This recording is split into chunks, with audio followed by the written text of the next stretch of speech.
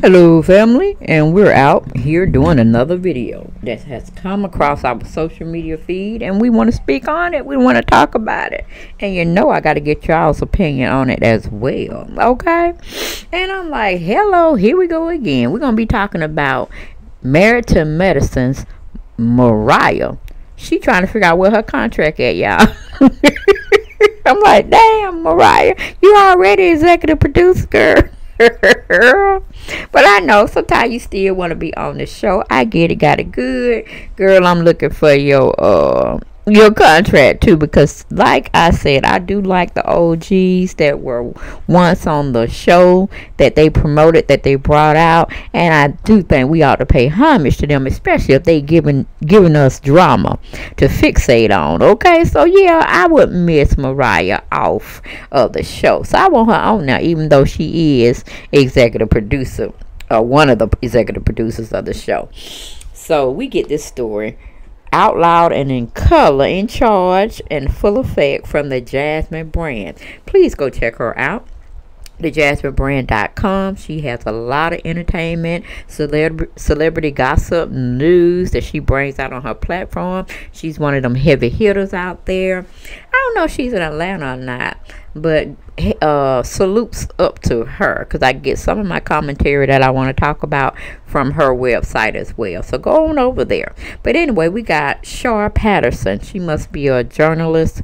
Uh, or correspondent over there or writer for the Jasmine brand, one of the writers, and she's giving us a story. She titles her article Married to Medicine star Mariah H is still waiting on her contract. It's not in the mail. That's a job why, why don't y'all just get emails? But I guess they send y'all y'all contracts so y'all can have y'all legal team look over it and see if everything's plush and in order and not trying to take advantage of you all. I don't know, hell. Or they might just say, put sign on the dotted line if you still want to stay with our Ratchet TV programming. Okay? And send it back to us. All right? But I don't know. It seemed like Bravo with the Corona thing, they should have just sent it via email. but I guess they like, okay whatever. But anyway, we going into the article. It says Mariah has questions as she hasn't received her contract for Bravo's Married to Medicine's eighth season. Mariah, who notably developed the concept for the series, took fans with her as she checked her mail in an Instagram video, seemingly looking for her contract. Okay? Maybe Mariah, my sidebar, is just trying to stir up shit and drama for us to pay attention to the show. I mean, the show will go on, but it just will be lackluster, in my opinion, without her. Okay? But anyway, we'll go back to the article. It said, She said, I had heard that Married to Medicine contracts came out but mine's is not in the mail. So can y'all check y'all mailboxes to see if my contract came to you all's house? Mariah crazy as hell. But anyway, going back to the article says many of her fans commented that they weren't happy with the possibility of her not returning to the show. And she uh, posted it on uh, her Instagram page, or you know, they were on her Instagram page and they wrote in her comment section. One of them said, They still disrespecting the creator. Another one said, Mariah, if you don't have a contract, I will not be entertained by Married to Medicine anymore. I feel the same way. Then we have another one that says, I'll not, I will not be watching if they play like that. They better send that contract. Another one said, Wait, isn't she one of the producers on the show as well? They better quit playing. Call your managers. Okay. Another one said, if you're not there, I won't be watching. And the last one said, there is no married to medicine without you. I agree, honey. Because she got me on that. She will not get off her chariot to throw tomatoes in the street with the peasants. God, I, I, thought I would fall out. I thought I would fall out because that was just too much of a damn good read, okay, for anybody. And I be saying it in my personal life too. but anyway, going back to the article, it says Mariah helped kick off the series in 2013. She went on a hiatus during the third season and came back to the for the fourth season. What do you think about Mariah not receiving her contract? Contract? Tell us in the comments below. Okay, and I'm asking my fam, what say you? fam on Mariah not returning back to the house. Um, well, the to Medicine franchise. I mean, sometimes I guess you could make cameo appearances because she's still getting paid either way. Am I right? But let's listen to a little clip that uh, Jasmine uh, Brands correspondent over there, Sharp Patterson, put in her article. Let's see if we can get it to play without buffering.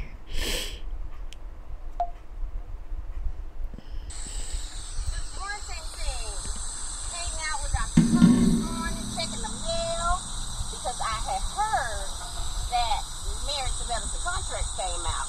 But mine's was not in the mail. So can y'all go check y'all mailboxes to see if my contract came to y'all house? Because what's the tea? she said, what's the T? And I, honey, I said, the TB you ain't got no contract. You won't be returning. So go raise some hell like Nene. Go on and hire attorney, honey. Go on and check out Lisa Bloom. I think that was her name that Nene had hired. But we have yet to see what came of that. What flourished from that. So I think that was just a ploy. I think what uh, Mariah is doing is a ploy as well. Uh, stirring up new drama uh, and maybe a storyline just to get us to partake in to see whether or not she will return and start taping. Okay, so that's all I had to, uh, I guess, deliver to you all tonight. And I think I'll be going to bed after this unless something else throws on my uh, social media feed that I want to talk about, but it'll be in tomorrow's. Um, what do you call it video selections that I will put out. So be safe. Uh, the corona is still out there. It's still hitting my state hard which is Atlanta Georgia. Um, so be safe. You know I don't want anything happening to my family affairs. My family members on YouTube. No I don't. But um yeah take care of yourselves.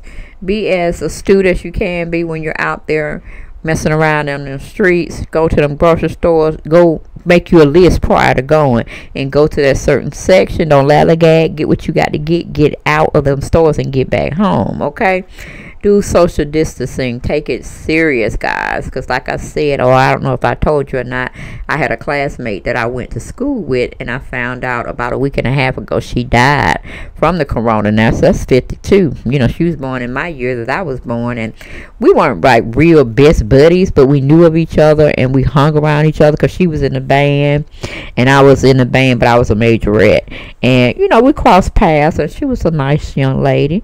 Uh, and she had uh, went into business after we graduated from high school with her father, who owns a mortuary company here in Atlanta. Um, so yeah, I was very sad to hear that. Um, and they'll be laying her body to rest this Saturday. And I think Friday I'll go and view the body, and I'm kind of scared about doing that. You know what I'm saying? I'm like, woo, child, it's another whole way of living. You got the glove up, you got the face up, you know, put your mask on and stuff. You got to stay prayed up, okay? And it's just a theory of me going out there and possibly bringing something back to my mom, who, you know, she's 80 years old. Her immune system is not that great, but it's better than, hell, it might be better than mine. okay, because she sure be getting around him much better than my bones, okay? But um, yeah, y'all take it serious and only do what you got to do out in the streets and come back home. Disinfect yourselves, disinfect your areas of uh, where you lounge around in that you touch a lot. Make sure you clean your hands for you. But hell, when I, I say when you come home, take all your clothes off that you were out there working in or whatnot. Um, go to the face sink, take your little bird bath or whatever. Especially wash your face, and then you know touch your face. Uh, cause they say the contact is like when you come when you put your hands to your face and you touch your eyes, your nose, and whatnot, and that's where the contact comes from uh, most prevalently uh, of getting the virus. But you know, like I said, I'm not really sure. I think it's airborne. I'm sticking with that probably to the day I die. But uh, it may have some found uh, reasoning of how I'm thinking, and then it may not be founded at all. But I'm just going by what I feel. But um, I'll talk to y'all next video, and y'all be blessed as usual. And don't forget to like, share, and uh, subscribe to the channel uh, if you haven't done so already and I will see you next video. Blessings.